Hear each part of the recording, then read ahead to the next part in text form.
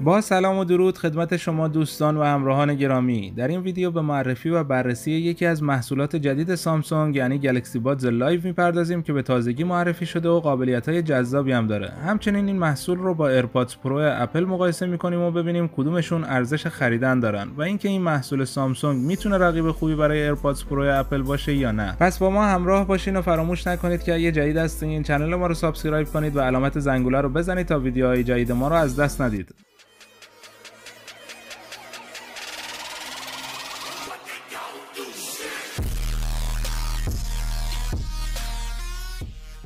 سامسونگ در جریان رویداد Unpacked در کنار معرفی گجت های مختلف از جدیدترین earbud خودش یعنی Galaxy Buds Live رونمایی کرد. این earbud طراحی جدیدی داره و قابلیت حذف نویز هم داره. طراحی این earbud مثل لوبیا هست و طوری ساخته شده که به طور کامل توی گوش جا می‌گیره. در بخش داخلی اون یه اسپیکر 12 میلیمتری و در بخش بیرونی سه میکروفون تعبیه شده که دو تای اونا با بهرهگیری از فناوری Voice Pickup Unit می‌تونن موقعیت دهان کاربر رو تشخیص بدن تا موقع صحبت کردن توی مناطق پر سر و صدا. صدا با کیفیت بهتری به طرف مقابل برسه. موقع گوش دادن به آهنگ ها هم این میکروفون ها صدای محیط رو حذف می‌کنن. یکی دیگه از ویژگی های این earbud قابلیت game mode یا حالت بازی هست که تاخیر مربوط به صدا رو کاهش میده. عمر باتری این محصول 5.5 تا 8 ساعته که این موضوع به فعال یا غیر فعال بودن قابلیت حذف صدای محیط بستگی داره. البته با استفاده از case شارژ عمر باتری اون به 20 ساعت هم می‌رسه. اگه Galaxy Buds Live رو فقط 5 دقیقه شارژ کنید می‌تونید یک ساعت ازش استفاده کنید. واسه شارژ اونم میشه از تمام شارژرهای بی‌سیم مبتنی بر فناوری Qi استفاده کرد. وزن هر کدوم از earbuds ها 5 ممیز 6 دهم گرمه و وزن case هم به 42 گرم می‌رسه. ظرفیت باتری داخل این earbud ها 60 میلی آمپر در ساعته و case earbuds هم باتری 472 میلی آمپر در ساعتی داره. بخش بالایی بدنه Galaxy بادز لایو لمسیه و از بلوتوث نسخه 5 پشتیبانی می‌کنه. این محصول از تاریخ 6 آگوست در رنگهای سفید، مشکی و برونزی وارد بعضی بازارها شده و در آمریکا 169 دلار و در اروپا 189 یورو قیمت گذاری شده.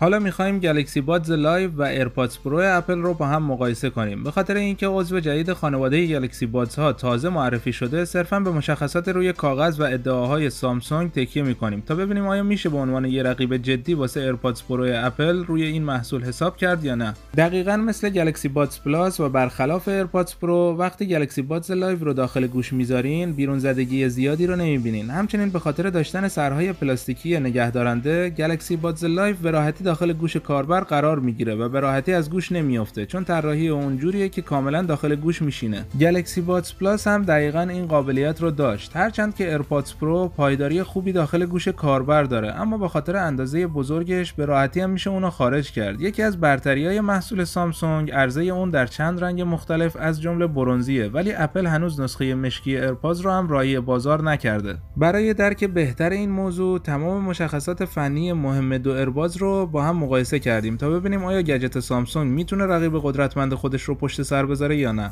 گلکسی بادز لایو از شارژ سریع و ایرپادز پرو از شارژ بی‌سیم پشتیبانی می‌کنه. گلکسی بادز لایو استاندارد IPX2 داره که در برابر قطرات آب مقاومه اما ایرپادز پرو استاندارد IPX4 داره که در برابر آب و عرق کردن مقاومت بیشتری داره. گلکسی بادز لایو در سه رنگ سفید، مشکی و برونزی عرضه شده اما ایرپادز پرو فقط در رنگ سفید عرضه شده. گلکسی بادز لایو از دستیار صوتی بیکسبی و ایرپادز پرو از دستیار صوتی سیری پشتیبانی می‌کنه. گلکسی بادز لایو و ایرپادز پرو هر دو از کنترل لمسی پشتیبانی می‌کنن و هر دو موقع گوش دادن به موسیقی قابلیت شنیدن صدای اطراف رو دارن. باتری گلکسی بادز لایو وقتی قابلیت حذف نویزش فعال باشه تا 6 ساعت و وقتی این قابلیت غیر فعال باشه تا 8 ساعت دوام میاره. اما باتری ایرپادز پرو وقتی قابلیت حذف نویز فعال باشه تا 4 ساعت و نیم و وقتی این قابلیت غیر فعال باشه تا 5 ساعت دوام میاره.